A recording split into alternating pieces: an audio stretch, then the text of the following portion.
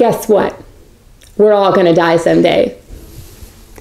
With that said, how do you pass on your DNA test results?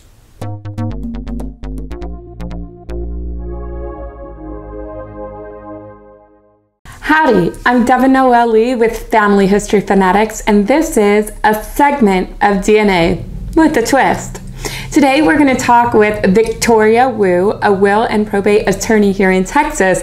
But before we talk to any lawyer, they always have to give a disclaimer. And remember, this is YouTube. You shouldn't be getting all of your legal advice from YouTube. As a disclaimer, nothing herein can be taken as legal advice. Uh, you must contact a licensed attorney in your jurisdiction for your specific needs, and nothing herein constitutes the formation of an attorney client relationship.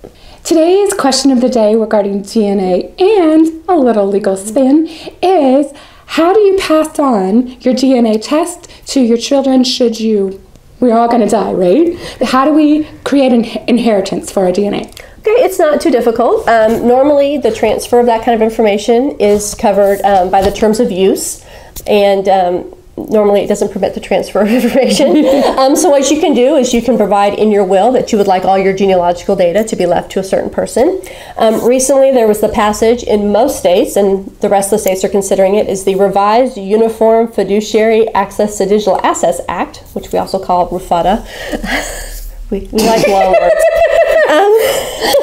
And it provides that um, DNA testing companies or any digital asset company can have you designate a fiduciary who can get that information for you. Family Tree DNA has that provision in it right now. I'm sure the other ones will come online here very shortly. But otherwise, just leave it in your will. Another thing you can do, just go ahead and print it out, except you know your tree worth of actual DNA, but your other results, you can print that out and just stick it with your other important papers. Absolutely.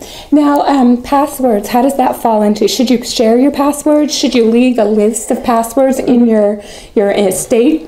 Files. I'm not sure what to call those. And I recommend to leave your executor a list of all your passwords, of all your bank accounts, all of that, not just your genealogy uh, genealogy data, but leave all that. Um, and there's some differences in how information is transferred or not transferred depending on the type of data it is. Okay.